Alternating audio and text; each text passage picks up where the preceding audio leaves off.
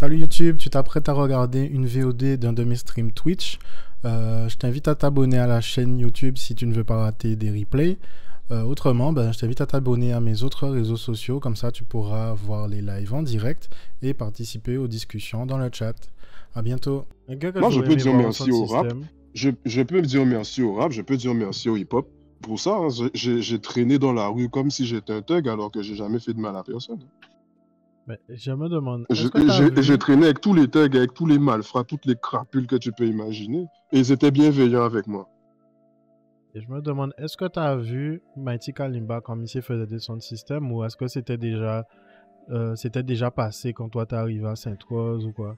J'ai vu Mighty Kalimba faire des sons de système. C'était impressionnant. Bah, tu, tu, pouvais qu'être admiratif parce qu'il faisait déjà partie des mecs les plus forts dans sa, pour son âge et pour cette époque-là. T'es fou, put some respect on his name. C'est quelqu'un. Je sais qu'il a fait des grosses scènes à Paris, tout ça.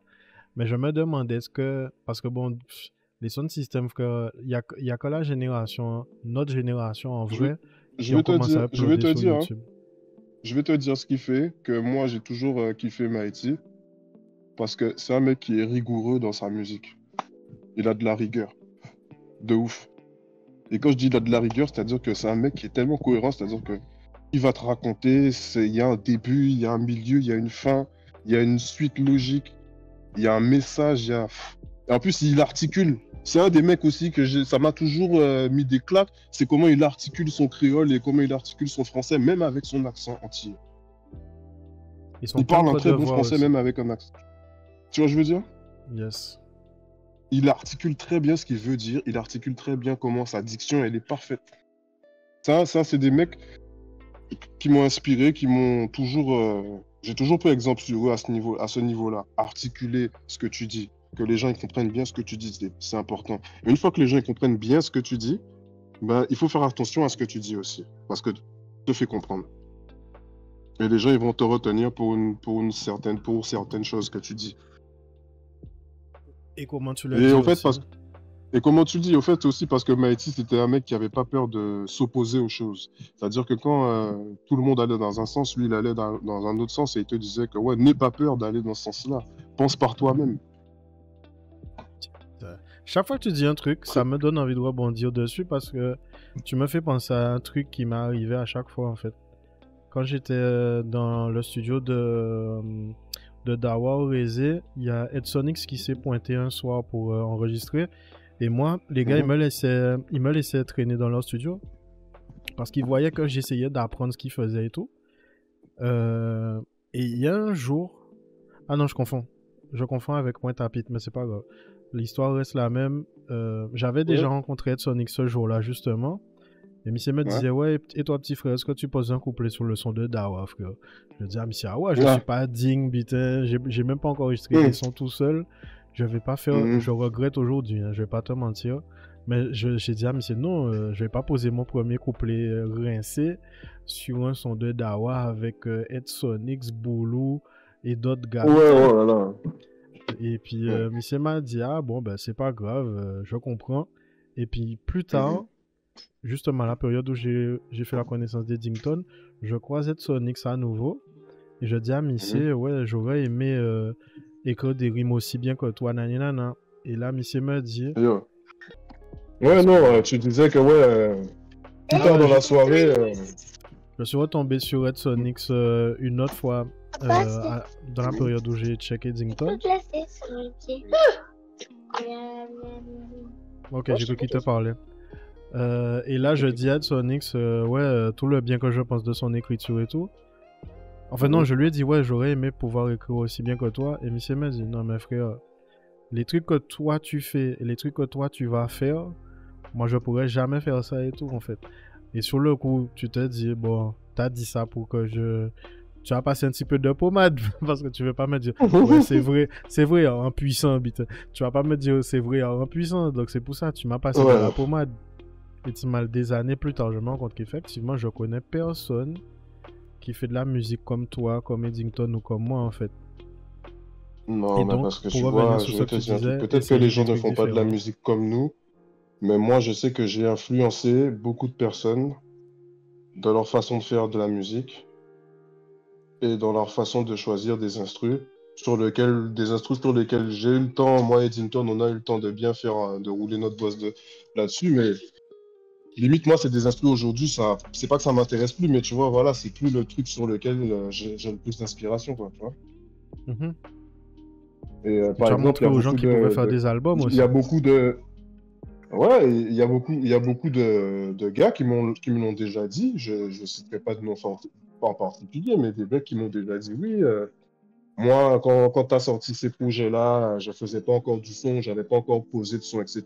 J'écoutais ça religieusement. Euh, en tout cas, trouvé ça déjà à, l'époque, c'était déjà ultra fort, les mecs. Ça, ça, ça, c'est un genre track à jeunesse en moi. Ça, quand quelqu'un te dit ça, c'est pas rien. Des gars, des, des gars m'ont déjà. Et c'est pas qu'une seule personne, plusieurs personnes m'ont déjà dit ça. M'ont déjà dit, ah, mais les gars, ils ont pas rendu compte, mais tu mal, ça, c'est qu'à faire à l'époque. Vous êtes déjà trop en avance. Que ce soit, que ce soit, que ce soit euh, des projets avec GMG, avec euh, les Louis de Personam, avec Scully, avec Eddington, les, les, Get Money Def, etc. Mais mal, on a lancé, on, sans le savoir, nous lancer plein de trends. Les gens vont pas dire ça, les gens vont pas dire que c'est nous, mais on, faisait, on a fait des choses bien avant plein de, plein de gens qui ont eux fait leur carrière, ont basé leur carrière sur ça on est, on est arrivé avec ces choses-là. Parce qu'avant nous, il n'y avait pas ça. Ben jusqu'à présent, hein, mais quand je regarde les trucs qu'on a fait en commun, les trucs que tu as mm. fait euh, avec tes, tes, gars sur GMG, vous mm. avez fait un univers, mm. vous avez fait une couverture personnalisée. Même moi, quand, quand, on a fait la couverture de GMD, j'étais content parce que j'avais trouvé un truc qui représentait vraiment l'esprit du projet et je, je suis content qu'on ne se soit pas fait euh, attrapé euh, parce que la photo ne m'appartenait pas. Mais la photo de la mort sur le tricycle, frère, c'est trop drôle. Et c'est nous, en fait. Mais est-ce que tu... Est non, mais est-ce que tu te rappelles comment ça s'est fait? Parce que moi, je me rappelle encore bien comment ça s'est fait. On s'est appelé. Je peux, je, je, peux, je peux raconter l'anecdote. Je sais qu'on avait, à l'époque, euh, fini d'enregistrer tous les morceaux. On a eu la version mixée. Bon, on n'a pas fait de mastering pour ça, on n'était pas encore dans ces délires-là à l'époque. C'était un bon mix où le son était propre et audible. On a mhm. eu les, sons, on s'est dit, bon, maintenant il faut sortir le, projet dans la semaine. On a déjà donné une date aux gens, il faut qu'on finisse avec la pochette. Et moi, je me rappelle, j'avais demandé à Sangwan de dessiner euh, Eddington et moi de façon euh, assez euh, ressemblante, machin, machin, nana. Et je me rappelle, à la dernière minute, à Meda, qui était, je sais plus, là, c'était le manager d'Eddington à l'époque. Ouais. Meda qui dit Ah non, non, non, euh, la pochette c'est pas bon, euh, le format ça va pas coller, etc. Nanana. Je dis Ouais, mais là, c'est... on n'a pas de pochette là, que... comment tu veux qu'on fasse? Milan, ah, collé aussi, c'est pas pourquoi ça. Ah, t'es collé. Avec aussi. Euh... Déjà, nous t'es collé pour ça? Donc, elle dit Ah, mais comment il fait chier lui Pourquoi c'est maintenant qu'il dit ça? Depuis le début, il dit Ouais, c'est bon, c'est bon, c'est bon. Et maintenant, il dit C'est pas bon. Comment on fait? Alors je me rappelle, Romali dit bon, écoute, j'ai peut-être une solution. Donnez-moi quelques, donnez-moi quelques minutes, je reviens avec quelque chose et vous allez me dire si vous validez ou pas. Et là, moi, j'ai fait des 100 pas, j'ai imaginé des bitins, j'ai essayé de dire bon, est-ce que nous avons bitinier qui avait des écritures, est-ce que je manquais encore attendre quand il revenait avec quoi. Et là, quand Romali, quand voyons image, j'avais la faucheuse, son tricycle à Timoun, eh ben, ça t'est marqué euh, euh, Def Whisper, je sais pas, Def Whisper ou je sais plus, euh, ouais, Def Whisper présente euh, Ryzen et Eddington Get Money Def. On dit, mais putain, c'est lourd ça, merde. J'ai dit, dit oui. That's it. On s'est appelé, on s'est appelé et euh, mm-hmm. je sais pas, je, ouais, tu me disais, faudrait, faudrait faire plus la police comme ci, faudrait faire plus la police comme ça. Ouais, des, petits, des petites retouches, mais des petites machins, comme ci, comme ça, et bam, on balance comme ça. Et après, quand on a envoyé ça, personne n'a rien eu à redire. Tout le monde a dit, OK, c'est bon, boum, c'est validé. Et c'est comme ça qu'on a fait la pochette. Enfin, c'est Romali qui a fait la pochette. ah ben, j'aurais aimé, j'aurais aimé qu'on ait, qu'on ait eu l'idée de faire les photos et qu'on ait eu le temps aussi, tu vois. Prendre, euh, mm. prendre, prendre, tu, ou quand prendre un web, et ça sur mon et puis tu mets des gants de squelette et une faucheuse mm. en plastique, bitin. J'aurais aimé ah, qu'on ait fait la photo que ce soit à mhm. nous. Mais bon, j'ai eu de la chance, j'ai trouvé ça sur Internet. Mhm. Bah, dis-toi que la pochette de Get Money Dev 2, si tu te rappelles bien, c'est la... les trois squelettes là. Oui. Et celle-ci, je me rappelle, euh, bah, c'était moi qui avais conceptualisé cette pochette-là. Et pareil, c'est une image que j'avais trouvée sur Internet et je me suis jamais fait strike. Et je me rappelle, j'avais modifié sur Paint. J'avais modifié sur Paint la pochette. C'est-à-dire que j'avais pris l'image de base brute avec les squelettes et après j'ai rajouté euh, les dents en or euh, avec euh, le paint. J'ai fait contour par contour toutes les dents, point par point pour que ça sorte bien. Tu vois, même quand tu zoomes dessus, que tu dézoomes. Franchement, je suis parti loin dans ça. Je crois que c'est la première fois que j'étais parti loin dans un truc informatique. Tu m'aurais dit ça, j'aurais fait ça pour toi. Tu m'aurais dit, j'aurais fait. Hein. Franchement, moi, je, l'ai fait par moi. Je l'ai, comme j'étais inspiré ce jour-là pour faire ça, on dit, ah, ok. Non, tomber cette image-là, on dit, mais c'est ça qui pochette là, Timan. On dit, non, faut modifier ça. On modifiait ça du feu de Dieu, Timan. Et franchement, à la fin, j'avais juste, je voulais juste savoir comment écrire Get Money Def en rond. Et c'est ça que j'arrivais pas à faire. Et je me rappelle, c'était One Blaze à l'époque, que avec qui je parlais souvent à cette, époque-là, et qui me disait qu'il touchait un peu Photoshop, Adobe et toutes ces conneries. Euh, je lui ai dit, j'ai besoin de ça, rajoute-moi ça.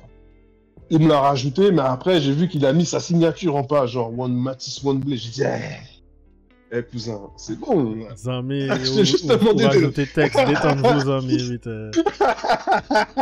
hein? Reste souple. Non, mais.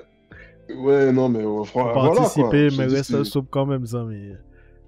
Enfin, bref. On pas dit rien, tu vois. Je, je lui ai rien dit. sur le coup, je lui ai rien dit parce que j'ai dit, bon voilà, ça ne sert à rien. Il a déjà fait, j'aime bien comme ça. Donc c'est vrai. Eh ben, du coup, une pensée pour Mathis One Blaze. Merci pour ta contribution, oui. Je savais même pas qu'il avait contribué. Je me demandais comment on était connecté parce que j'avais vu comme ici, regardait ce que je faisais de temps en temps. Moi-même, je tombais sur des recommandations avec lui. Je me demandais comment on était connecté. Maintenant, je comprends mieux. Oui, oui. Bah, c'est OneBlaze qui m'avait euh, fait euh, la police d'écriture courbée que je recherchais, que j'arrivais pas à faire avec Paint, pour finaliser la pochette de Get Money Dev 2. Euh, il y avait un, squelette qui fumait un blunt, un squelette qui avait une chaîne, un Jesus Peace en or, et un squelette qui avait un grills. Et c'était trois têtes de squelette l'un à côté de l'autre, quoi, tu vois. Ah ouais. Je mettrais, en noir et jaune, la cover, sur la VOD, je mettrai la cover. Ouais, vas-y. C'est une dinguerie ce qui s'est passé dans cette vidéo.